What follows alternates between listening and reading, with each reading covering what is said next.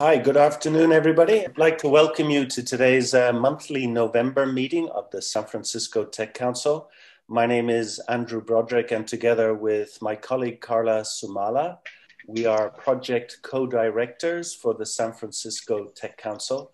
And that means we are the primary contacts for anything related to the daily activities of the Tech Council. And so please do feel free to reach out to us directly if you have questions or want additional information. I will put our contact information in the chat box. And just a quick introduction for those of you who are new to the Tech Council we are a multi-sector initiative uh, by bringing government, business, nonprofit, and consumer collaboration to advance digital inclusion here in San Francisco for seniors and adults with disabilities.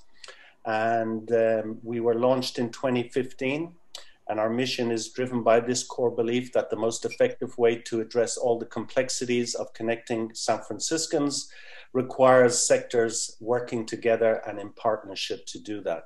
And so the Tech Council does serve as that community table around which all the different sectoral partners sit and discuss and explore opportunities for partnership. And that brings us to today's uh, agenda, uh, where I'm going to hand over to Anne Hinton, who serves on our steering committee and has been a long-time member since the uh, early days of the Tech Council, and she will facilitate today's session. So Anne, over to you. Thanks, Andrew.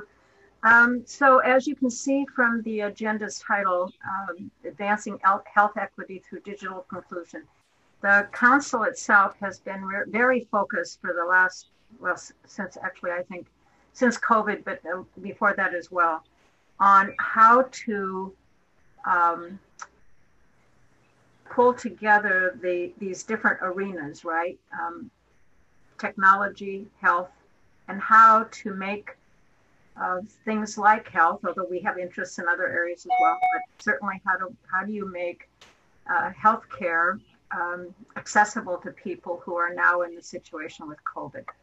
And one of the things that we've been investigating, because Andrew said a little bit about what he and Carla do, but one of the other things they do is the serious business of researching and investigating all the possible things that we might, uh, as a group, need to know about and discuss.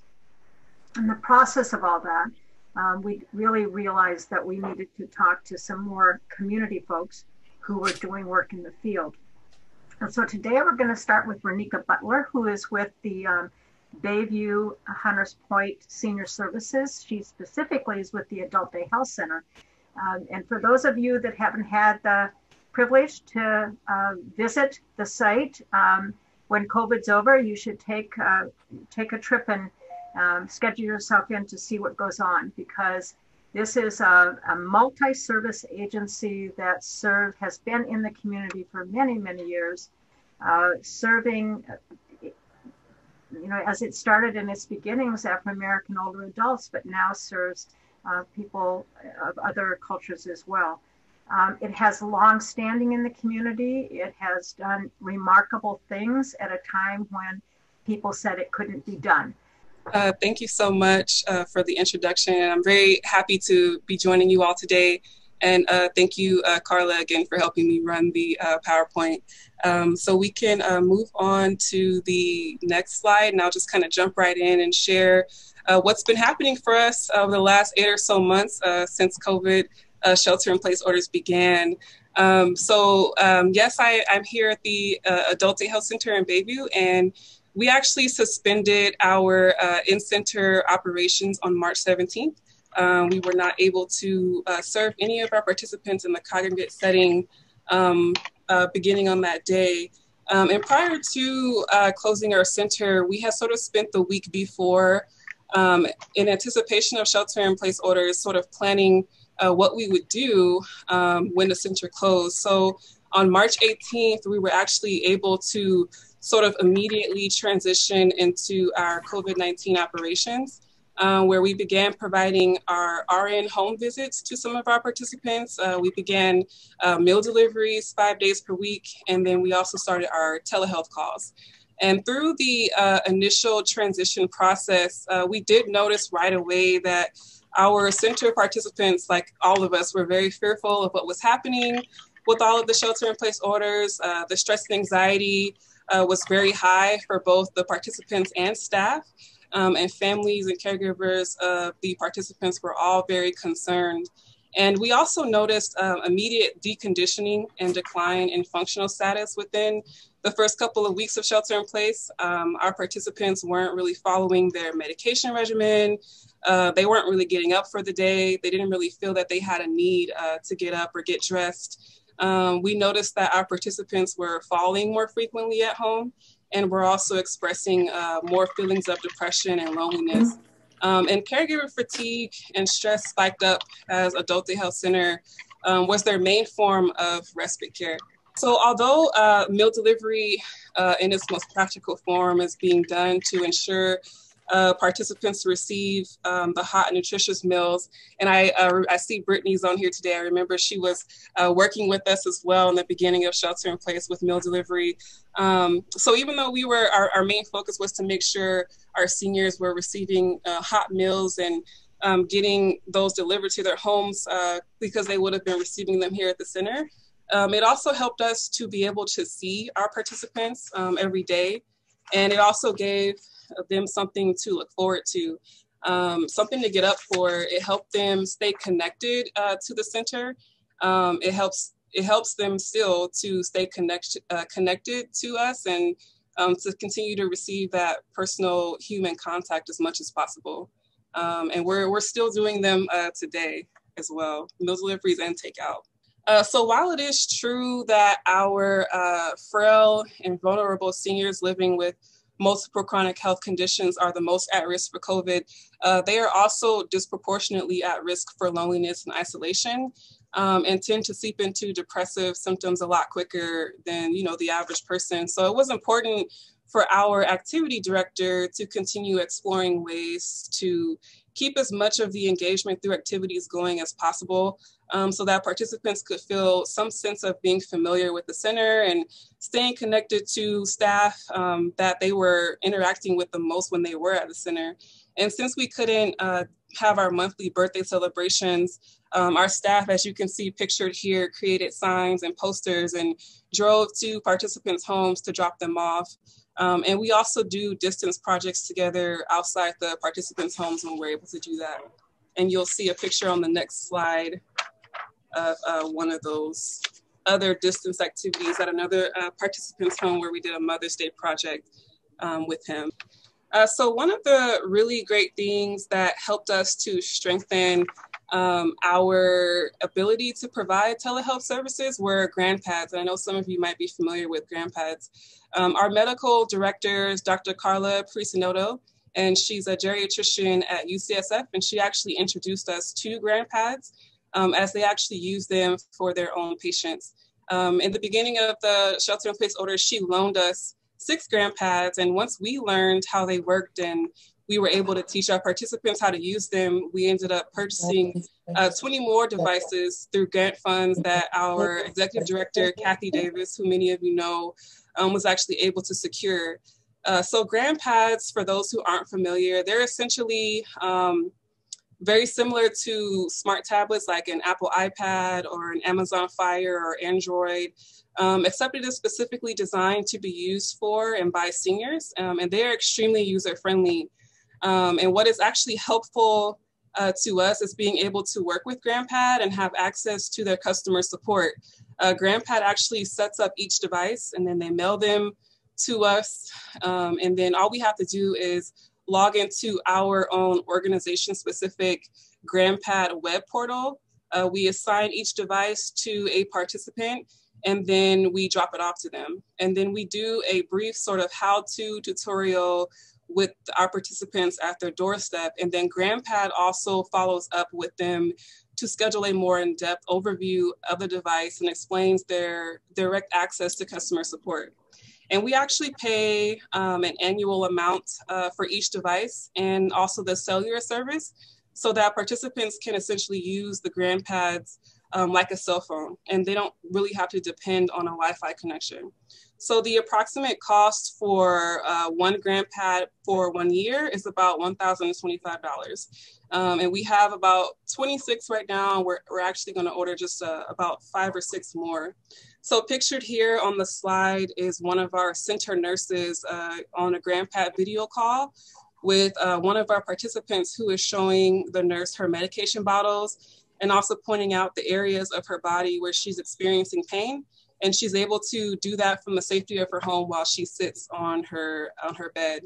Um, and you might be able to see uh, Miss Alice on the on the um, laptop there. And just like many of our participants, she really misses being physically at the center, um, but she's been very excited and happy about being able to use uh, the GrandPad and um, she actually wants to figure out a way to get her own so that she can keep it when she's not um, with the center anymore as she is moving soon. Um, we've also been able to work with GrandPad to set up peer-to-peer video calls. So all of our participants who have a GrandPad can actually talk to each other. They can call each other and have video calls. Um, and it's actually been really fun to see them quickly learn uh, how to use the technology and also sort of um, teach them how to have video uh, etiquette over the over the GrandPads. Um, so some of the apps on the device that are popular for our center um, are music, of course. There's many different genres of music that they can choose from. Um, games like bingo is really popular as it was in the center and also things like blackjack. And then surfing the web um, is highly used and we are able to get all that information from GrandPad as they're able to track that and create, um, collect the data for us. And we actually noticed a big spike in um, web surfing during the month of October. And I was probably, uh, I was wondering if that was probably due to uh, the election. Um, and then also GrandPad is able to, or was able to install Zoom on the devices. So um, some of our participants have actually been able to do uh, Zoom calls with their primary care providers. Um, and then we're hoping to be able to start running group Zoom um, activities. Um, we haven't exactly been able to teach all of our participants how to enter in a meeting ID or click the link for the Zoom call, but we're actually working on, on doing that. Um, can we go to the next slide, please? Um, and then for our greater organization um, of Bayview Senior Services, we actually just received some pretty exciting news um, from our partnership with the uh, San Francisco Department of Technology. So again, our executive director, um, Kathy, was able to meet with the Department of Technology and uh, come up with a plan to provide free Wi-Fi to every resident who is living in the Dr. George W. Davis Senior Residence um, which is actually located just down the street, about a mile away from the Adult Day Health Center where I am. Um, so this free Wi-Fi will actually allow uh, residents in the building to be able to utilize uh, tablets and phones and streaming devices at no charge. Um, and given the emphasis that we're in, that's now on telehealth and social isolation from friends and family and future uses of technology, um, getting each apartment, which there are 120 units in this building, um, with its own Wi-Fi is a huge uh, game changer, and we're actually really excited about this. Um, next slide, please. Uh, so as I sort of wrap up, um, I wanted to briefly share that while we were sort of doing all these things and we were able to pivot our services and our operations to quickly adapt to this new COVID world, um, we also had to switch gears a bit during the months of May and June to actually fight for our adult day health program not to be shut down and eliminated completely. Um, the Newsom administration had proposed to eliminate state funding for the current fiscal year that we're in uh, through Medi-Cal for all adult day health centers um, throughout the state of California. So we had to work very quickly with our association, um, California Association for Adult Day Services, um, other adult health care providers throughout California, and all of our state and local officials and representatives to ensure that our program was not eliminated. And on the link on this slide, um, you'll see for San Francisco Chronicle, one of our participants and their their wife were able to um, be interviewed and contribute to an article that shared what, from a, a caregiver's perspective, what it would mean without having adult day health care. Um, so although this whole process with having to fight for our program in the middle of you know, changing our, our operations and trying to care for our participants who are most at risk. Um, it added a, a, crazy amount of stress and anxiety to an already stressful situation, but we fought hard and we prevailed, and we are here to stay to keep providing care um, and services to our participants. Um, so, thank you again for uh, giving me the opportunity to kind of share what we've been doing over in Bayview and for our adult health care program. And I'll turn it back over to uh, Anne. The organization that you're with has a, a wide array, uh, including the housing that you mentioned and nutrition and all the things. But could you say a little bit about the population of folks who um, who are part of the Adult Day Health Center? Yes. So within our organization, um, the Adult Day Health uh, participants are the most frail and vulnerable. Um, they are pretty much all would qualify to live in a skilled nursing facility, but the adult day health program is an alternative to a long-term care in a facility. So uh, there can be a number of health issues related to um, COPD, uh, people who have had a stroke or do continue to have strokes. Um, we have a, um, Alzheimer's or different forms of dementia.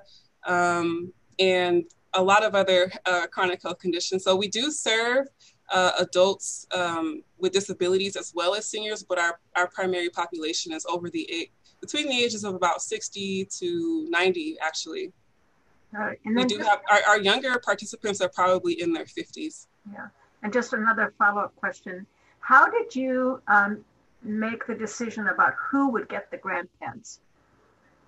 We we wanted to know who would be able to learn the technology uh, because some you do typically need someone else in the home to help use it like a caregiver or a family member if they're not familiar uh-huh. with the technology. And then also those who we really wanted to have our eyes on. So it's a great eyes on tool. Once we were able to learn them how to uh, teach them how to use it um, we were able to then be able to follow up and call them so that we didn't necessarily have to go over to the home, or rather, our nurses go over to the home as much.